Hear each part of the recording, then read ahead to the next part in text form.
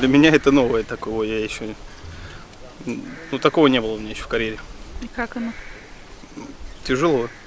А, Ну, знаете, что- когда рассказывают, что тяжело, все, каждый год тяжело на сборах, и как бы, ну, и все это нормально, но как бы не рассказывали, пока ты не почувствуешь и не поймешь, на, ну, что на самом деле это абсолютно другие нагрузки, не как в других клубах. То есть, ну, на словах это по-другому как-то. Как не готовишься, ну, к такому я не был готов.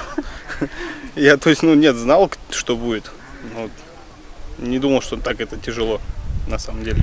Что самое тяжелое было? Вообще за всю карьеру? Нет, нет, сегодня. Сегодня было самое тяжелое.